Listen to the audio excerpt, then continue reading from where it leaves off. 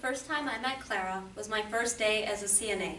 Before I even saw the woman, I was warned of her wicked pinch, her bad attitude, and the famous Clara Cooter kick. I got to know Clara very well over the 11 months I cared for her. Clara was a bold woman with a bold spirit.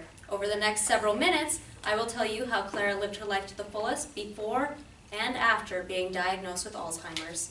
Before being diagnosed with Alzheimer's, Clara was a dedicated family woman, a friend, and a wild party animal.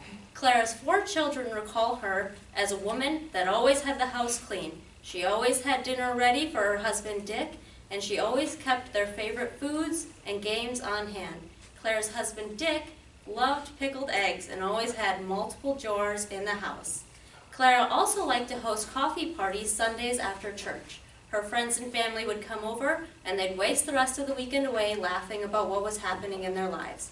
Clara, and also instead of hosting parties, liked to attend parties. She was often known as the center of attention, which was also known um, as the wild party animal.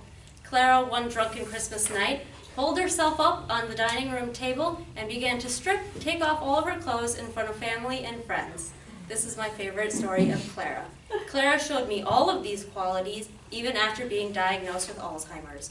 Every night I would go into Clara's room and I would find her with her arms outstretched and a plate of Three Musketeers offering me dinner.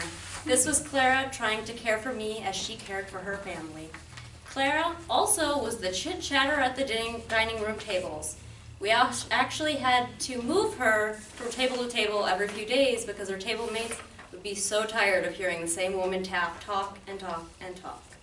Clara was often confused where the party was at. In the middle of the night, you would hear her yelling her husband's name, Dick, Dick, where are you? And you'd run in her room expecting something horribly wrong, but instead you'd find herself pulling herself out of bed, trying to get up and get a robe on to walk out and find the party.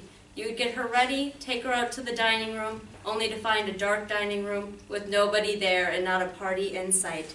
In conclusion, I may not have known Clara before being diagnosed with Alzheimer's, but I could still see the same woman as described to me by her children. Clara was a bold woman with a bold spirit. You now understand how Clara lived life to the fullest before and even after being diagnosed with Alzheimer's. Clara's attitude and physical attacks were not symptoms of Alzheimer's.